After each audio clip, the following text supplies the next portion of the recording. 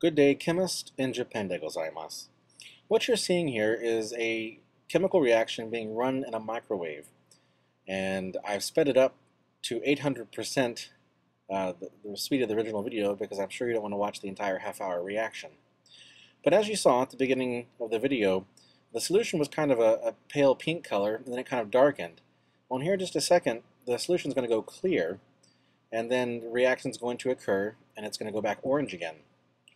One of the things that's great about the microwave reactor that we have is that we can actually use the camera and watch our reactions happen, which is an important thing because this reaction that we're doing in the microwave is normally done conventionally on the bench top and it's just heated in a flask and, and it, but the problem is that this reaction normally takes three days and in the microwave it runs for half an hour. And so the neat thing that we observed is we see the exact same color changes uh, that we do in the normal reaction uh, here in the microwave. But the other wonderful thing that the microwave offers us, along with the time savings, is that for this particular reaction, the yield uh, of the product is much higher, and uh, which which is very good because the uh, the starting materials for this reaction are very expensive. So if we can get a higher yield out of it, then we get more bang for our buck. So in just a minute, I'm going to show you the video where we remove the react uh, the reaction the reactor flask from the uh, from the microwave and have a look at the product. It's very very beautiful. That's good. That means there's a lot of product.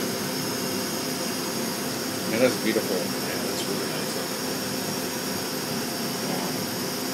There you go.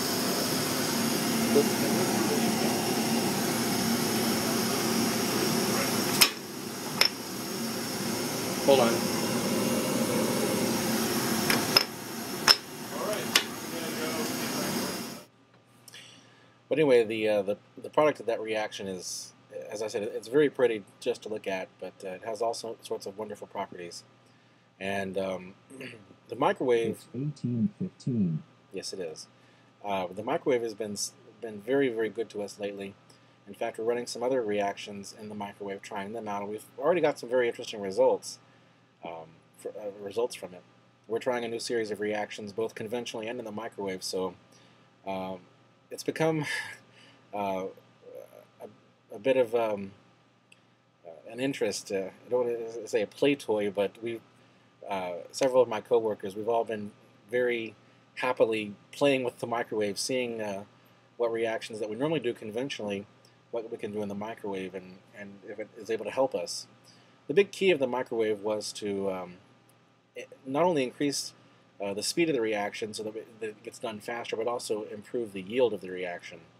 Uh, because microwaves can do things to the molecules that regular heating in an oil bath um, or on a hot plate can't do um, because of the amount of energy in a microwave. It's, uh, it's all very interesting. So that's one of the things that we've been playing with lately. Thanks for watching.